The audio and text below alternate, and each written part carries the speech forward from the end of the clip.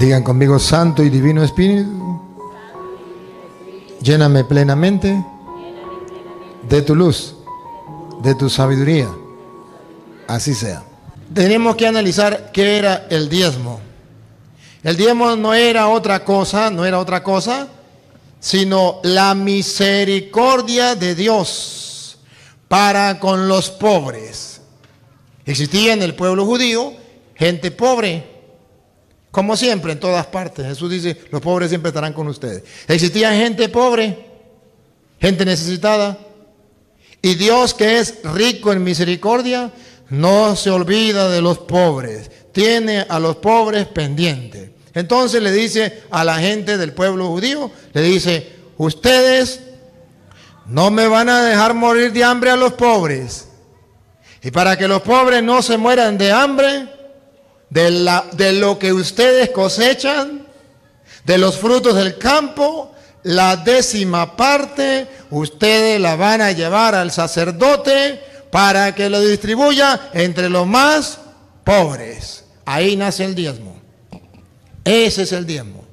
Miren que el diezmo no nace con la intención de alimentar a unos vividores para que se vuelvan millonarios y los otros sean pobres. No, no, no es así. El diezmo es para que los que tienen colaboren con los que no tienen. Así es lo que dice la Sagrada Escritura. Miremos, vamos a buscar citas. Deuteronomio capítulo 26, versículo 12 en adelante. Deuteronomio capítulo 26, versículo 12 en adelante. Verán que el diezmo es fruto del amor misericordioso de Dios que ama a todos y que se preocupa por los pobres, por el necesitado, por el hambriento, por el que está pasando necesidad y nos enseña a todos que en el más pobre, ahí está Él. Hasta el punto que si le negamos la comida al pobre, se la estamos negando al Señor. Dale. El tercer año, año del diezmo, cuando hayas acabado de separar el diezmo de todas tus cosechas. Eh, el diezmo de todas sus cosechas. Entonces el diezmo era de la comida, de los productos del campo. Cuando hayas separado el diezmo de la cosecha, dale. Y se lo hayas dado Aquí al viene, aquí viene. El diezmo para quién era. ¿Se lo haya dado? Al levita. ¿Quién era el levita? El levita era de la tribu de Leví. Era pobre. ¿Por qué era pobre? Porque las doce tribus de Israel se repartieron lo que tenían. Pero a la tribu de Leví, Dios le dijo, a la tribu de Leví no le dan nada. Ellos se van a cargar del culto. El sacerdote es el encargado del culto. Y como va a estar trabajando para el culto, no va a tener tiempo para trabajar en otra cosa. Entonces, como el sacerdote está trabajando para el culto y no tiene de dónde comer, el pueblo va a sacar de lo que tiene y le va a dar de comer al levita, al sacerdote. Pero ojo, no solamente al sacerdote. Oiga, es para los necesitados. ¿El sacerdote era un necesitado? Sí, porque no tenía, no tenía cómo mantenerse porque estaba dedicado al templo, al servicio del culto. Siga. Al forastero. Al forastero. ¿Quién era el forastero? Traigámoslo ahorita en este, en este tiempo que estamos viviendo. ¿Quién era el forastero? Los venezolanos que han huido de su patria porque allá se están muriendo de hambre y de necesidad. Y llegan a Ecuador, a Colombia, a Perú, a Chile, a República Dominicana, a Estados Unidos, a cualquier otro país, llega sin nada en el bolsillo, nada de plata. Llegan con las manos vacías, con deseo de trabajar, con deseo de comer, pero no conocen a nadie, son forasteros. Y dice Dios, el pueblo cristiano no puede permitir que los venezolanos se mueran de hambre porque no son de ese país. Ahí están los católicos en el mundo entero que han de sacar la cara por el pobre y han de atender a ese forastero que dejó su patria huyendo, sea por lo que sea, y en Venezuela, pongo el ejemplo, hay otros países que también está sucediendo lo mismo. Entonces la Biblia dice que es necesario practicar el diezmo con el forastero. Darle de comer al forastero de lo que usted tiene. Debe darle a esas personas necesitadas. Dale, ¿para quién más el diezmo? A la viuda. A la viuda. La viuda no era la persona desgraciada, ¿por qué? Porque no tenía. Él ya había salido de la casa, no estaba con el papá. Ya había muerto el marido, no estaba con el esposo. Y una mujer que no estuviera al lado de un hombre, la consideraban una basura. Nadie se preocupaba por ella, quedaba ahí a la deriva. Entonces dice Dios, yo me preocupo del sacerdote, me preocupo del forastero, me preocupo de la viuda. Ustedes se encargan de alimentarlo, de lo que ustedes agarran, de lo que ustedes cosechan, la décima parte será para alimentarlos a ellos. Siga. Al huérfano. También el huérfano, el que no tiene papá, el que no tiene mamá, no tiene cómo comer, no tiene cómo ayudarse. Es necesario que los creyentes, los creyentes asistan, ayuden a esas personas. Y es cuando Jesús recuerda ya en el Nuevo Testamento que Jesús viene a decir, el examen final, tuve hambre, me diste de comer. Tuve sed, me diste de beber. Era forastero, me hospedaste. Tuve enfermo, o en la cárcel. Entonces es lo mismo, la misericordia de Dios, un Dios misericordioso que se preocupa del más necesitado. Ahí nace el diezmo, ahí nace el diezmo. Y el diezmo nace que tengo que darle de comer a los más necesitados. Hoy día ustedes verán que se ha distorsionado el diezmo. Hoy día se habla que el diezmo tiene que ser plata y allá era comida. Segundo, hoy día dice que el diezmo es para el julano pastor. Y la Biblia no dice que el diezmo era para el julano pastor. La Biblia dice que el diezmo era para el sacerdote que trabajaba al culto y no tenía que comer. Para, para el huérfano, para la viuda, para el forastero. Y el pastor no es ni sacerdote, ni forastero, ni huérfano, ni viuda. Entonces, ¿por qué cobra el diezmo? Porque es un ladrón. Porque no está, no es para él. Y ojo, el diezmo no era para que la persona acumulara y se volviera rico a costilla de los tontos. El diezmo no era para que el dirigente de la comunidad se hiciera rico a costilla de la fe de los demás. El diezmo era para que no le faltara comida a la gente más pobre. ¿Dónde se entran bueno, para que ustedes vean dónde centran la atención los hermanos separados, lo del diezmo para restregárselo a la gente. Malaquías, capítulo 3, versículo 10. Malaquías.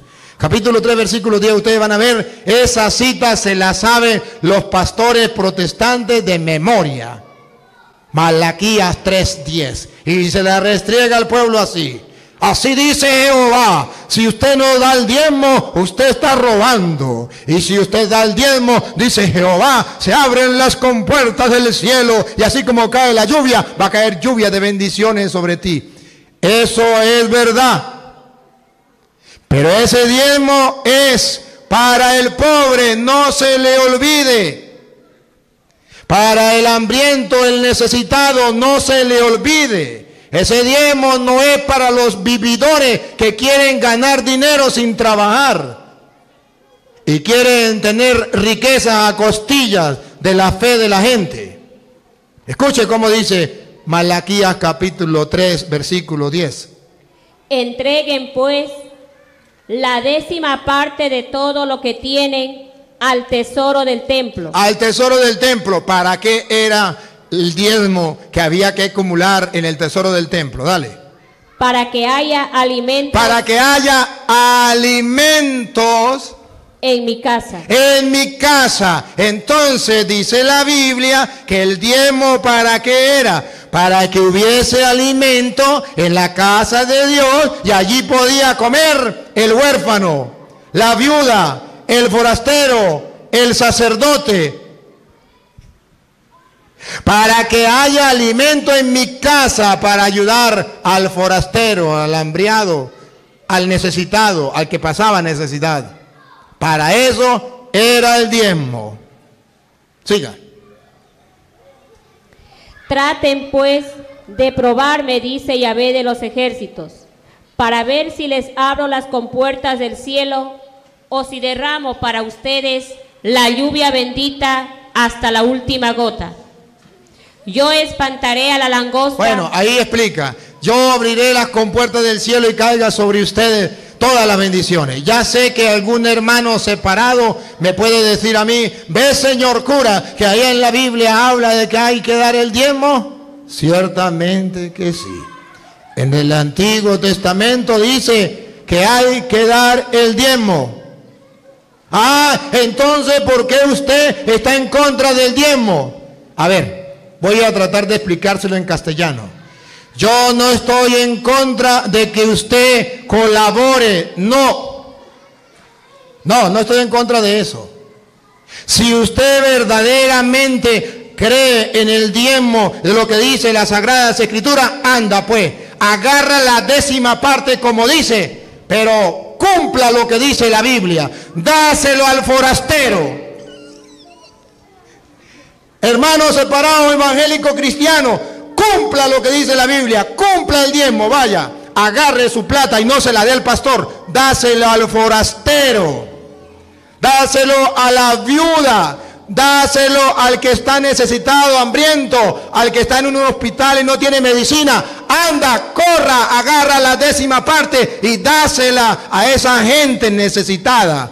Hazlo pues, hazlo. No es que amas dar el diezmo, pero no te dejes engañar de aquellos vividores que dicen, el diezmo es para mí, para el bolsillo mío de yo, para yo tener un lujo de casa, un lujo de carro y darme la buena vida. No te dejes robar. Abra los ojos. Estudie las sagradas escrituras. Yo estoy tratando de mostrarle con la Biblia que el diezmo es fruto de la misericordia de Dios para el pobre, el necesitado. Ustedes verán ahora en el Nuevo Testamento, todo el Antiguo Testamento, los hermanos separados me pueden buscar miles de citas donde habla del diezmo. Sí, el Antiguo Testamento. Pero en el Nuevo Testamento cambia en el Antiguo Testamento era la décima parte. Y tenía que ser, segundo, obligatorio. La décima parte y tenía que ser obligatorio. En el Nuevo Testamento ya no es la décima parte y ya no es obligatorio. Esas dos cosas se eliminan. Sí hay que seguir ayudando a los pobres. Claro que sí. ¿No recuerdan a Jesús? Tuve hambre, me diste de comer. Tuve sed, me diste de beber. Era forastero, me hospedaste. Lo mismo del diezmo. Pero no dice que sea la décima parte y obligado. Sin embargo, tampoco ustedes van a encontrar en el Nuevo Testamento donde Jesús diga, cobren el diezmo. Es obligatorio. Jesús no va a hablar del diezmo. Ya sé que los hermanos separados me pueden decir, Señor cura, usted que dice leer la Biblia y usted no ha encontrado en el Nuevo Testamento donde Jesús habla del diezmo. No recuerda, por ejemplo, y vamos a buscarla. No recuerda, por ejemplo, en Mateo capítulo 23, versículo 23, donde Jesucristo habla del diezmo. ¿Es que usted no sabe que Jesucristo habló del diezmo? Sí, lo sé. Sí, lo sé. Y nos vamos a comer este caramelo cuando Jesús habla del diezmo. Hay dos citas especiales donde Jesús habla del diezmo. Una, Mateo 23, 23. Y la segunda, San Lucas capítulo 18, versículo 9. Y nos vamos a comer este caramelo. A ver, escuchemos, relájense, respiren profundo. Cuando Jesucristo habla del diezmo, ¿de qué manera habla? Oigan.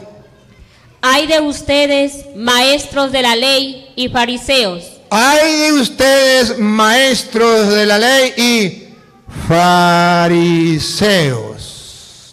Subrayen la palabra fariseos.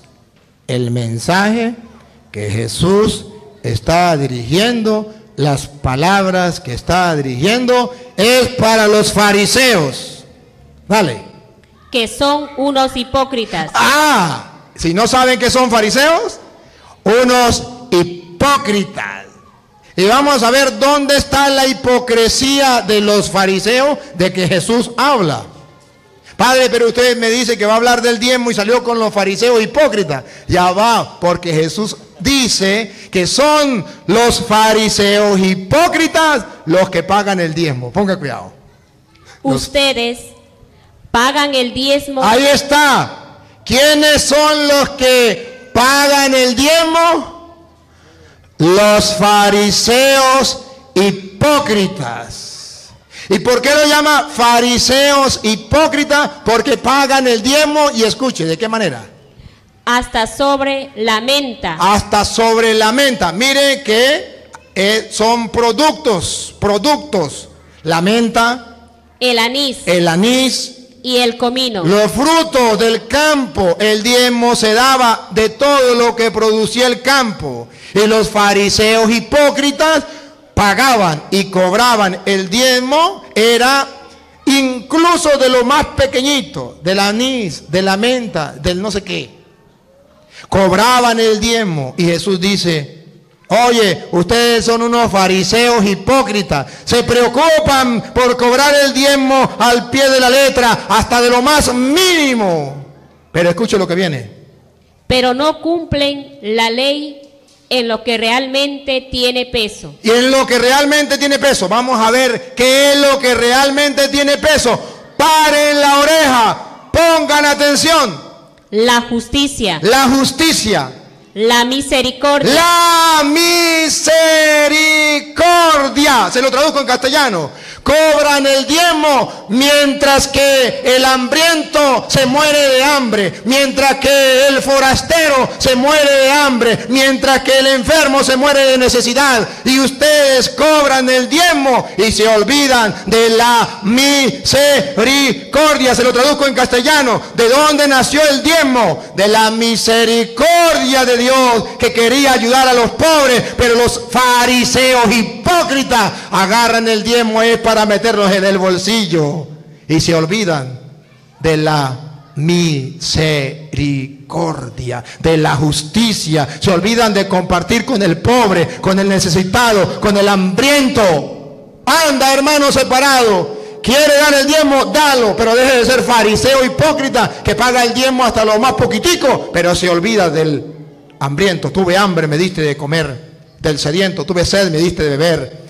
Del forastero, del que estaba en la cárcel, del perseguido, de todo lo que dice las Sagradas Escrituras, del necesitado. Vamos a mostrarle que cuando Jesucristo mandó a los apóstoles, jamás les mandó a pagar el diezmo, jamás. Mírenlo, San Mateo, Mateo capítulo 10, versículo 8 en adelante.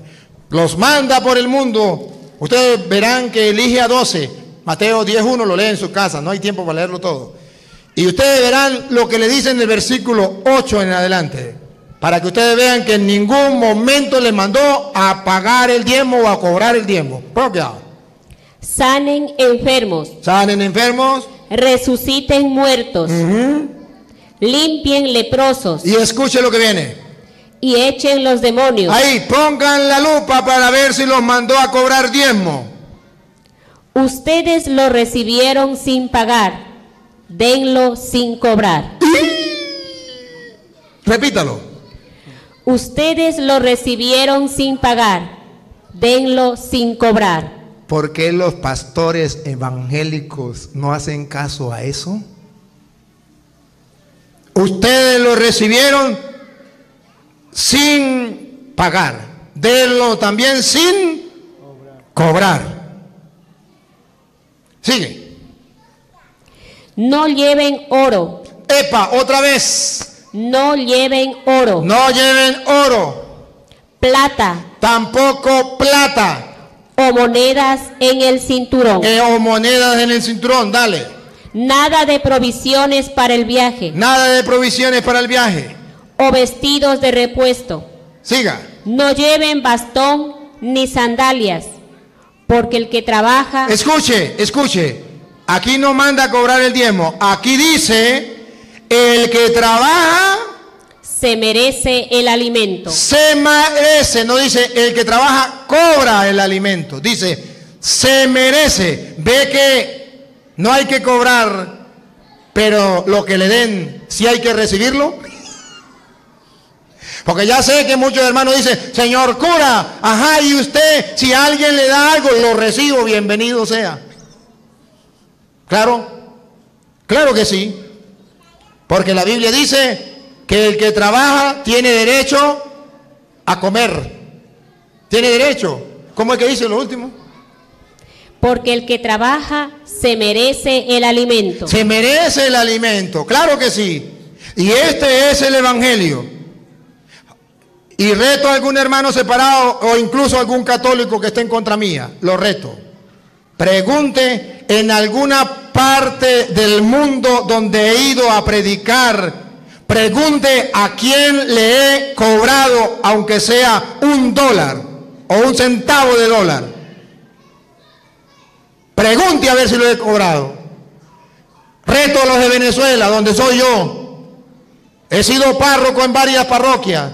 Pregunte en una de las parroquias que yo he sido párroco a ver si he cobrado siquiera un bolívar por una misa o por un bautismo, por un matrimonio. Nunca y me moriré y jamás lo haré. Cuando la gente viene, Padre, ¿cuánto vale la misa? La misa usted nunca la va a pagar. De lo que usted quiera. Y si no quiere nada, pase para acá el nombre de su familiar y yo le celebro la misa, no hay ningún problema, seguimos siendo amigos. Pero que lo reto, los hermanos separados que andan diciendo que el cura dice una cosa y hace otra, lo reto, búsqueme pruebas donde yo haya cobrado, no donde la gente me haya dado. Porque si la gente me da, bienvenido sea, lo recibo y lo utilizo para los pobres y lo reto. Si quiere vaya a Venezuela para que vea cuántas familias estoy alimentando. A cuánto les estoy dando mercado, ropa, medicina. Lo reto que vaya de lo que la gente me da. Entonces, no es lo que dicen los hermanos separados. No, pero es que en la iglesia católica hay quienes cobran. Eso no está bien. Eso está mal. Sean de los protestantes o sea de la iglesia católica. No. Jesús manda y dice que tiene que ser gratis lo que ha dado. Que la gente tiene que dar y ayudar, eso es otra cosa. Y lo viene a mandar San Pablo también. Segunda de Corintios, capítulo 9, versículo 6. Aquí viene lo que es ya en el Nuevo Testamento la ayuda. Aquí ya viene el caramelo para los católicos. Y prepárense porque este caramelo tiene como un poquito de picante por dentro. Dale. Miren, Miren, católicos, miren. el que siembra con mezquindad El que es agarrado el que es duro, el que es tacaño, con mezquindad cosechará. nunca va a prosperar. Siga. Y el que siembra sin calcular, Y aquel católico que no anda calculando a ver qué billetico es, a ver cuál es. O la monedita, no, es mejor voy a dar la pura monedita. El que siembra sin calcular, no anda calculando a ver, cosechará también fuera de todo cálculo. cosechará fuera de todo cálculo. Aquí viene lo que debe ser la iglesia de Cristo, dale. Cada uno de, Otra vez, cada uno de, otra vez. cada uno de, Doctrina de la iglesia católica, repítalo. cada uno de, según lo que decidió personalmente, y no de mala gana o a la fuerza. Ahí queda eliminado, ahí queda eliminada la doctrina de los protestantes que tiene que ser obligatoriamente. Y la décima parte, eso tirado por el suelo. Le doy capítulo y versículo. Ya puede creer o no creer, a mí qué me importa. El trabajo mío es mostrarle lo que dice la Biblia. Repítalo. Cada uno de según lo que decidió personalmente. Eso no es la décima parte. Esa doctrina es protestante. Cada uno de lo que decidió personalmente. Siga. y no de mala gana Y no de mala gana o a la fuerza. o a la fuerza. ¿Cuál es el problema de los protestantes? El problema de los protestantes no es que den, porque tienen que dar. El problema de los protestantes es que dan y el pastor les obliga a que den. El problema de los protestantes es que tiene que ser obligatoriamente la décima parte. Ese es el problema. Y el, y el tercer problema es que hay que dar a los más necesitados y ellos se lo dan es a los vividores. Ese es el problema de los protestantes. No están actuando. ¿Y cuál es el problema del católico? A ver, porque esto es para ustedes. El problema del católico es, como no es obligado, y como es lo que quiera su corazón, ni siquiera un dólar dan, sino la monedita más pequeñita, ¿cómo se llama la monedita más pequeñita? Que yo no sé nada de eso. Un centavo. Un centavo. Un centavo. Un centavo. Y paren la oreja. Respiren profundo. Ahí viene el secreto de lo que estamos hablando. Dijo Cantinflas, aquí está el detalle. Debes saber que la raíz de todos los males Debes saber que la raíz de todos estos males es el amor al dinero. Repítalo. Debes saber que la raíz de todos los males es el amor al dinero. Por tercera vez, lo que le pasa a los pastores evangélicos. Y por eso están naciendo tantas sectas. Debes saber que la raíz de todos los males es el amor al dinero. Es el amor al dinero. Hermanos queridos, yo creo que con esto no necesito de, de encadenarme. Yo creo que he tratado simplemente de exponer con claridad lo que la palabra de Dios dice. Sí, sí. La palabra de Dios dice que usted y yo debemos colaborar con los más necesitados, no dejen de hacerlo. Si quieren dar la décima parte, dala. Y si quiere darle más, dale. Si quiere dar menos, dale. Pero no deje de dar. Colabore. Simplemente sepa que lo que siembre, eso recoge. Pero nunca se deje engañar diciendo que es el diezmo y obligatoriamente. Y que hay que dárselo a ese fulano pastor para que se vuelva rico. No. Y luego, cuando ustedes sean curas, sepan agarrar de la plata que la gente dé como ofrenda para sus bienes, para comer, pero sobre todo, sobre todo, para ayudar a los pobres, a los necesitados. No caigamos en la misma de las sectas protestantes, que todo lo que sea para acá es para el bolsillo nuestro. No. Seamos capaces de desprendernos para ayudar al necesitado. Ayudemos. Y hoy les lanzo un reto. Hay muchas personas necesitadas. Y ojalá que ustedes pudieran ayudar a esas personas necesitadas, sobre todo a los venezolanos que están viviendo aquí, que no tienen que comer. Y si alguno quiere dar un paso más allá, pueden contactar alguna manera para hacer llegar comida o bienes o cualquier cosa a, Venezuela, donde la gente está muriendo de hambre y el gobierno no hace nada y quiere tapar para que el mundo no se entere. Seamos, somos un cuerpo, somos la iglesia de Cristo y tenemos que preocuparnos por el bien de los demás. Y no vayamos tan lejos. En su comunidad, sus vecinos pueden estar pasando necesidad. Tiéndale la mano, sé generoso con él. Lo que haga con uno de esos, lo está haciendo con el mismo Jesucristo. Amén.